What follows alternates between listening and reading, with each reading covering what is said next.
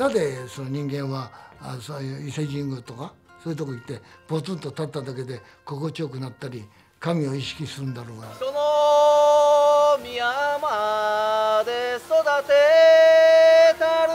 宗教的な空間とそれから森のつながりっていうことがね日本ほど強いところってない。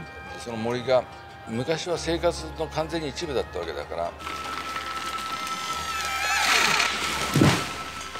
1000年育ったのが500年しか持たなかったらそれは技術で技術が悪いんですよね。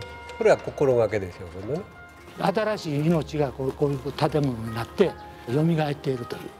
ヒノキの幹を伊勢様へ。よいよい。これはですね森のエッセンスです。森にいて気持ちがいいってね普段ね許されないところで生きているという証拠ですね。